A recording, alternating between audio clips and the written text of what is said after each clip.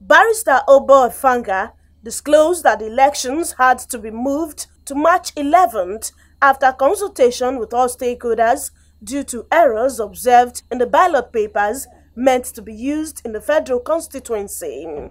Barrister Obo Effanga explained that the decision was arrived at to ensure the confidence of the people on the electoral umpire is sustained. Uh, the process hasn't been concluded, um, but we've got reports of um, what happened in the field uh, or what's still happening in the field. There have been um, election comments, and um, for some places where there are still people on the line, where there were still people on the line as of 2.30, we expect them to continue voting until the last person who was on the line at 2, uh, 2.30 has voted.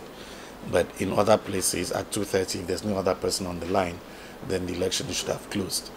Um, so we've got reports uh, of places where election has closed and um, right now in some places they would be uh, counting their votes in the polling units and possibly going for uh, collation at different levels. On the various issues raised during the elections, the resident electoral commissioner said although delays in commencement of elections was observed in some polling units, elections was however held.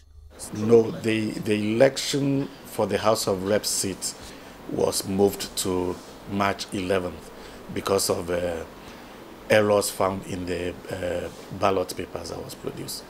Uh, the uh, members of the political party were informed and um, since late last night. So they were aware of it in those three local government areas.